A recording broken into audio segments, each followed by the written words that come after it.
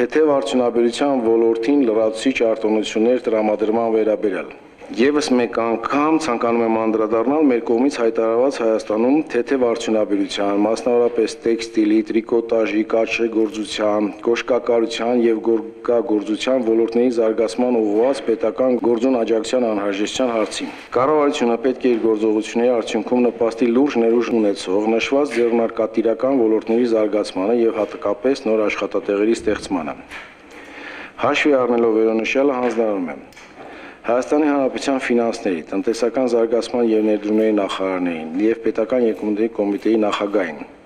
երկու շաբաթյա ժամկետում քննարկել եւ կառավարության աշխատակազմ ներկայացնել առաջարկություններ Երևանում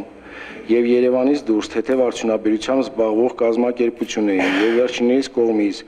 նոր աշխատատեղեր ստեղծելու դեպքերում լրացուցիչ արտոնությունների տրամադրման հնարավորության եւ գործիքակազմի վերաբերյալ Ուզում եմ երկու խոսքով parzabanենք, մենք մեր գործընկերների հետ այս հարցի շուրջը խոսել ենք։ Խոսքը գնում է նրա մասին, որ Երևանից դուրս արտոնությունը պետք է լինի ավելի շատ, որպիսի տրամադրենք դեպի շրջաններ գնալը 1։ Աշխատատեղ ստեղծելը պետք է խրախուսվի 2։ Երրորդը սուբսիդավորման վերաբերյալ մենք հստակ մեխանիզմներ պետք ունենանք եւ ինչպես Խոսել ենք նաև հարկերի մասին։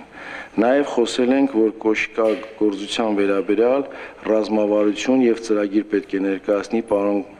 Կարայանը, որտեղ այնտեղ մեծ ներուժ ունենք։ Տրիկոտաժի մասով բավականին